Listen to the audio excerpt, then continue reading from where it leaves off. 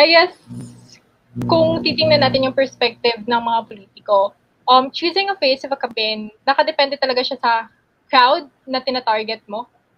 Um, I think isa sa pinakamalaking factors na dapat kinoconsider nila is gaano ba ka-familiar or relatable yung isang celebrity sa target audience ng isang politiko. I mean, obvious naman na, yun, as I've mentioned kanina, yung parang hero image ng mga celebrities. They can fight for you, they can like protect you from anything else.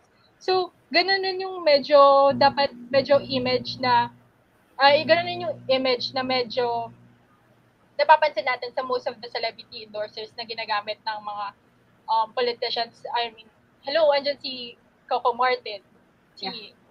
um, Angel, uh, Angel Ocene, na super, sabi niya mismo, siya mismo nagsabi sa Instagram story niya na it's her first time support, to blatantly support a presidential candidate. Isa rin yun sa, isa yun sa example na kung gaano dapat ka-eloquent yung isang celebrity mm-hmm. sa pag-endorse ng isang candidate.